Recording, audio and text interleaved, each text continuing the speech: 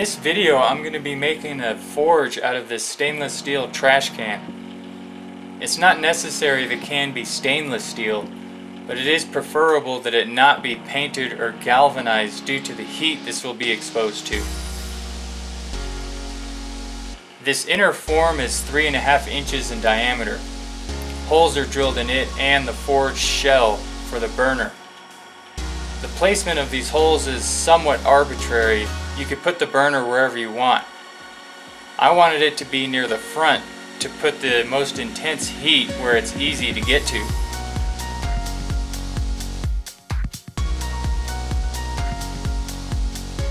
Since my can doesn't have a bottom anymore, I'm going to be using this bucket lid made out of high density polyethylene. I hot glue the inner form to it using plenty of glue because the glue has trouble sticking to such a slippery material. I'm going to be taking advantage of that later when I take this apart. The forged shell is then positioned in the middle with the burner form to ensure everything is in alignment and then it is glued to the lid in the same manner as I glued the inner form to it.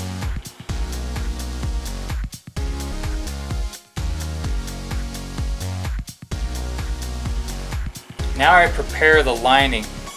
I use one gallon of perlite, 350 milliliters of sodium silicate, about 12 ounces, and 350 milliliters of water. Put into the same container I measured the silicate in to help rinse out any remaining sodium silicate.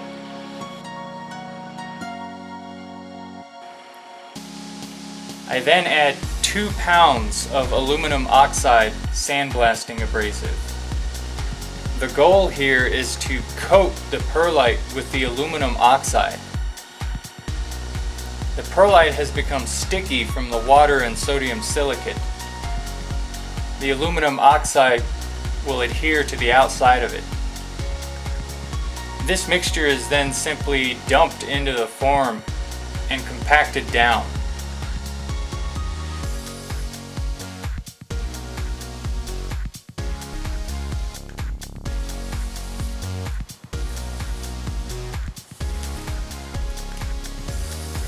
Any remaining lining can be stored in an airtight container.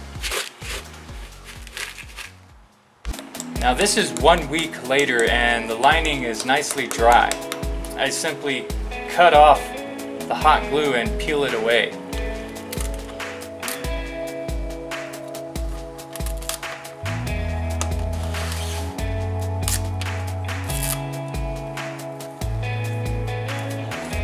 The legs are simply a pair of these U-shaped pieces of bent steel with a piece of all thread running through some of the holes.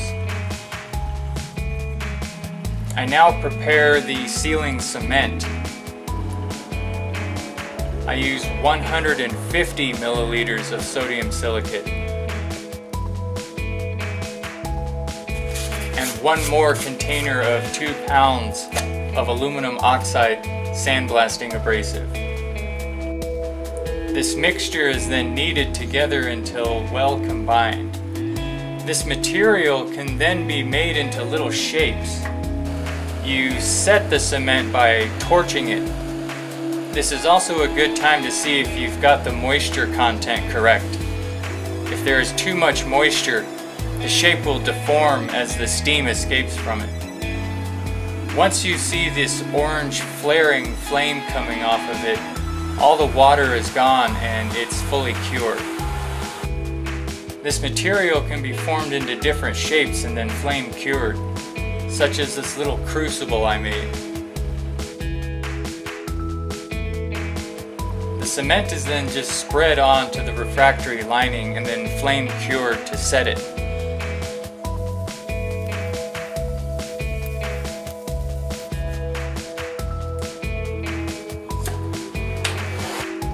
I suppose this is one advantage to this cement is you don't have to wait for it to dry and it allows you to work fairly quickly.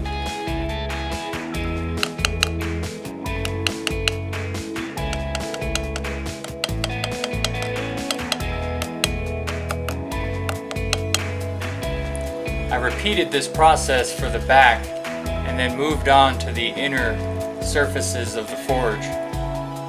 Simply spreading the cement on with a plastic butter knife.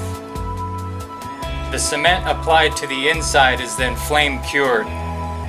You can see here I did the bottom. I then flipped the forge over and repeated the process to do the ceiling.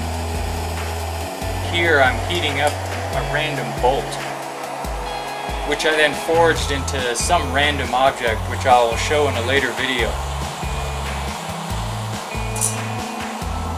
One last thing, I did update the burner for the forge a bit.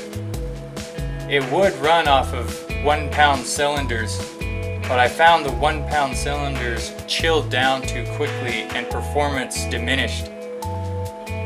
I've stripped it down to just the blowtorch valve and the orifice plug, which I installed directly into the blowtorch valve with some special Teflon tape made specifically for sealing gas lines. The burner then threads directly onto the valve. Now with the use of this adapter, I can use a 20 pound cylinder to run the burner.